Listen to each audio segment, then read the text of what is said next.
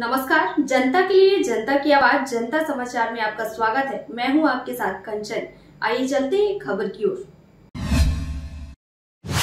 जबलपुर शहर में अवैध शराब की तस्करी करने वाले शातिर तस्कर हर बार शराब तस्करी के नए नए हथकंडे अपना रहे हैं।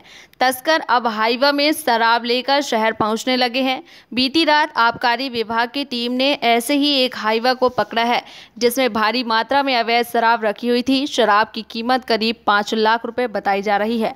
आबकारी कंट्रोल रूम प्रभारी ने बताया कि बीती रात मुखबिर से सूचना मिली थी कि हाईवे में भारी मात्रा में अवैध शराब नरसिंहपुर से जबलपुर लाई जा रही है। मुखबिर की सूचना पर तत्काल ही आबकारी उप निरीक्षक श्वेता सिंह तिवारी प्रधान आरक्षक रमेश, आरक्षक दीपचंद्र, अनुराग शर्मा आदि को घेराबंदी कर शराब तस्करों को पकड़ने के निर्देश दिए। श्वेता सिंह तिवारी के नेतृत्व में आबकारी की टीम ने हाईवा को भेड़ाघाट के आगे होटल ऑप्शन के पास रोक लिया।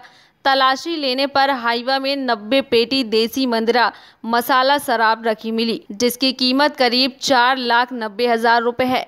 टीम ने शराब के संबंध में हाईवे से मिले जालिम सिंह तथा गणेश सिंह दोनों निवासी दमोह से पूछताछ की तो शराब के संबंध में कोई भी दस्तावेज़ प्रस्तुत नहीं किए, जिस पर टीम ने अवैध शराब एवं हाईवा जब्त कर लिया है।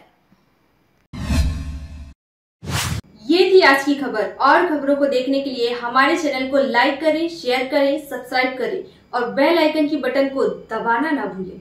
आप देख रहे हैं जनता के लिए जनता की आवाज़, जनता समाचार। अन्य खबरों के लिए हमारा चैनल सब्सक्राइब करें।